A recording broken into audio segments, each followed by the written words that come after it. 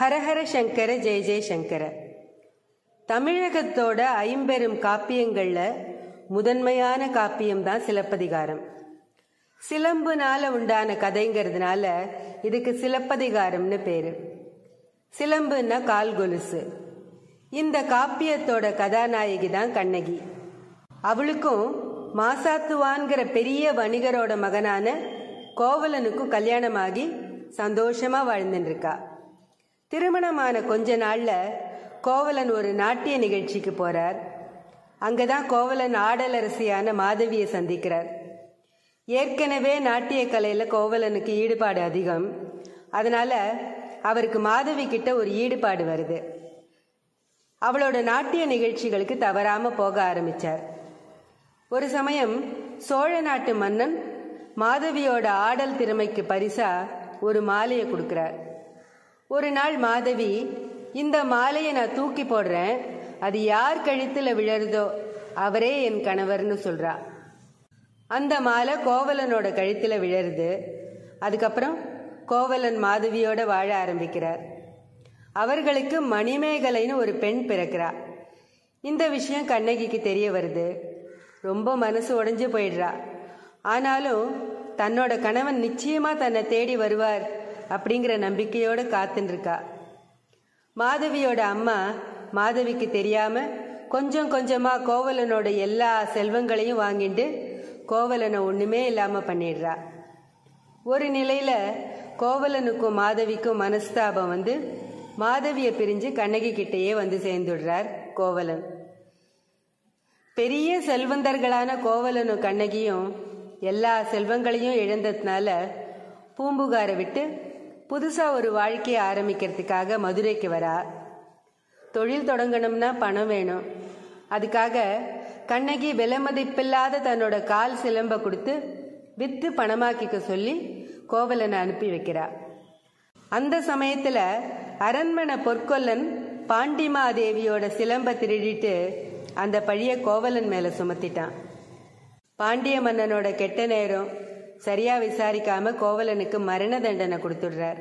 தன்னோட கணவன் பொய்யான குற்றச்சாட்டால இருந்ததை அறிந்த கண்ணகி தலைவிரி கோலமா ஆங்காரத்தோட தன்னோட கணவன் குற்றமற்றவன்னு நிரூபிக்கிறதுக்காக தன்னோட ஒற்றை கால் சிலம்போட அரசவைக்கு கோபமா வரா.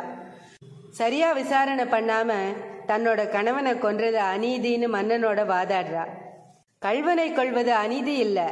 அப்படின்னு மன்னன் சொல்றார் என்னோட சிலம்போட பரல்கள் மாணிக்கங்களால் ஆனது அப்படின்னு கண்ணகி சொல்றா. மன்னர் பாண்டிமாதேவியோட சிலம்பு முத்துப்பரல்களால் ஆனதுன்னு சொல்றார். மன்னனோட ஆணைக்கிணங்க கோவலன் கிட்டேருந்து கைப்பற்றிய சிலம்ப அரசவைக்கு கொண்டு வர அரசன் உத்தரவிட்டார்.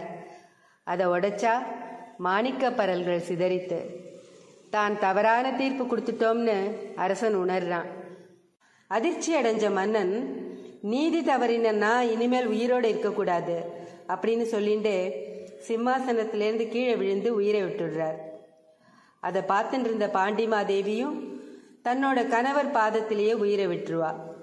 கோபம் அடங்காத கண்ணகி மன்னன் மட்டும் இல்லாம தனக்கு அநீதி இழைச்ச இந்த மதுரை நகரமே பத்து எரியட்டும்னு சாபம் கொடுக்குறா. கற்புக்கரசியான கண்ணகியோட சாபம் பலிச்சு மதுரை நகரமே பத்தி எரியறது. அதுக்கப்புறம் எரிஞ்சின்னு இருக்கிற மதுரை தெருக்கள்ல காளியோட மறு உருவமா தலைவிரி கோலத்தோட கால் போன போக்குல கண்ணகி தொடர்ந்து பதினாலு நாள் எங்கேயும் நிக்காம நடந்துட்டே இருக்கா. கால் புண்ணாகி ரத்தம் சொட்டின்டே இருக்கு. அது கூட தெரியாம நடந்து நடந்து சேர நாட்டு எல்லையில இருந்த கொடுங்காவலூர்ங்கிற ஊருக்கு பக்கத்துல இருந்த வண்ணாத்தி பாறையில போய் நிக்கிறா. அங்க இருந்த குன்றக்குறவர்கள் கிட்ட தனக்கு நேர்ந்த அநீதியை சொல்லி அழறா.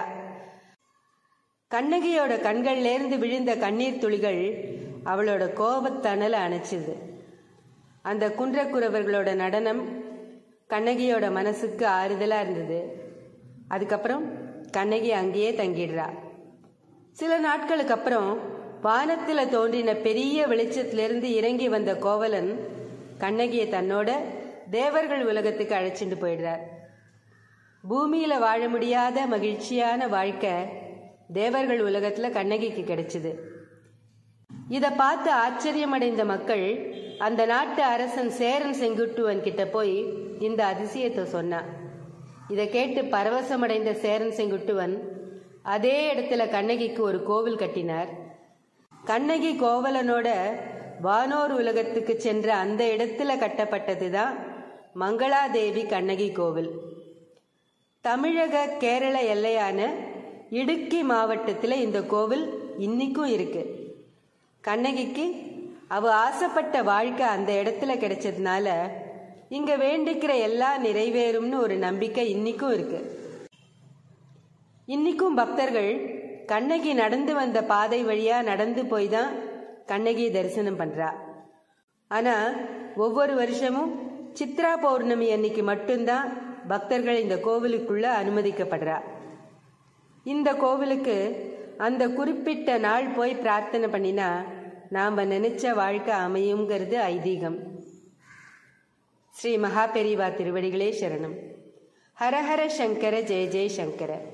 காஞ்சி சங்கர காமகோட்டி சங்கர